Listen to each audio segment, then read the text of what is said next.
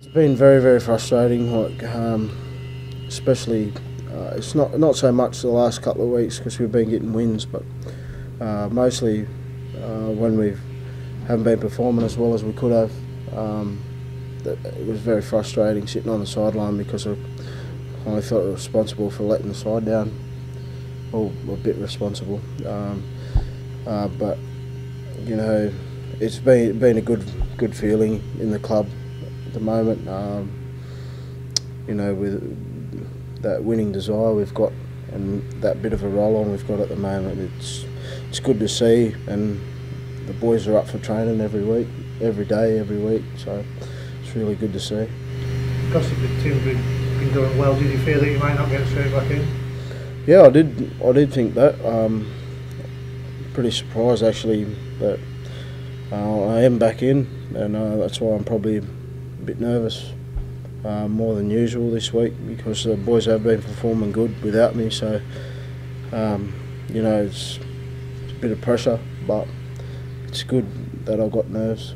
Um, yeah, I'm just it's not complacent, so it's a good thing, I think. Daryl said that you've been working with him on, on tackling technique and that, that sort of thing. How's that gone? Um, yeah, it's been interesting actually. Um, uh, the first first couple of times I've picked up on a lot of things, and every training session I'd do um, ten hits of the bag at hundred percent, and um, I think you know just getting little tips off him, he's really helped me, and Danny and you know other boys like Milo and that they've they've been putting their um, seeing what uh, I could do better and you know, getting the young guys to run at me as hard as they can, that whoever's not playing, and you know, it's been been a good thing, and I'm very grateful for all the boys around me. They've they've helped me with it, and it's something I have to have to fix up in my game. Um, it's just little things and stupid things like that that can let a side down.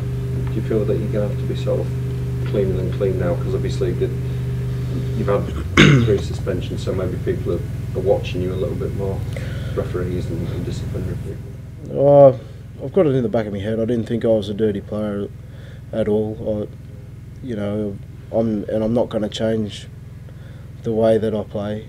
It's just you know little things like uh, tackling techniques and stuff like that that I have to fix up, and um, you know getting frustrated. And it's been a you know roller coaster this this year with um, you know suspensions, but um, you know I've just got to put my head down and concentrate on my game. Yeah. Did you ever get in trouble in similar lines in the NRL?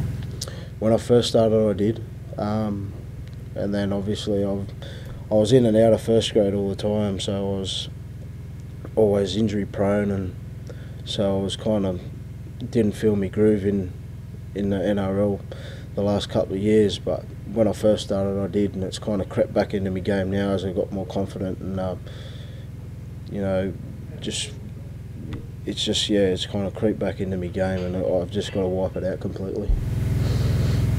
How are you enjoying it with here? Because I know Basil was a big part of you coming over, wasn't he?